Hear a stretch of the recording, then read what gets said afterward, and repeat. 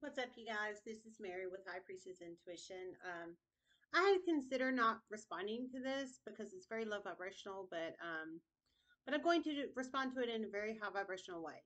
So, to the chickadee that um, responded that um, some about am I okay? Uh, blase, blase, blase. Uh, I need to focus on gaining my self confidence back.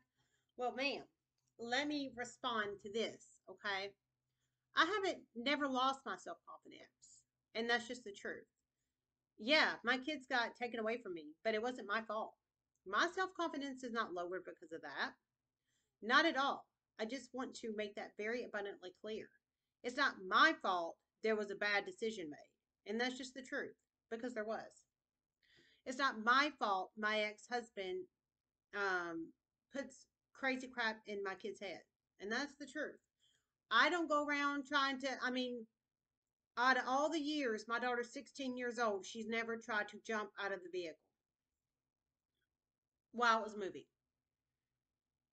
All those years I raised her, did I ever promote her to think badly of her father or to do harmful things to herself or others? No, I encouraged the other. So you can think my self confidence is down and low or whatever, whatever, but because it's not, it's not. Um, and that's just the truth. I'm about to have the free financial freedom to move and do whatever I want to do. Um, I just want my kids back, and that's just the truth because they shouldn't have left to begin with. So that's just in response to that. Okay. Um, everybody's like negative. I mean, why do you even put those comments on my page? Um, period. Why do just keep them to your damn self? And I'm just being real. Why is it necessary to put something like that on there?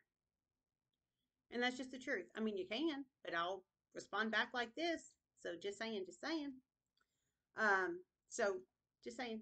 All right, love you. Namaste.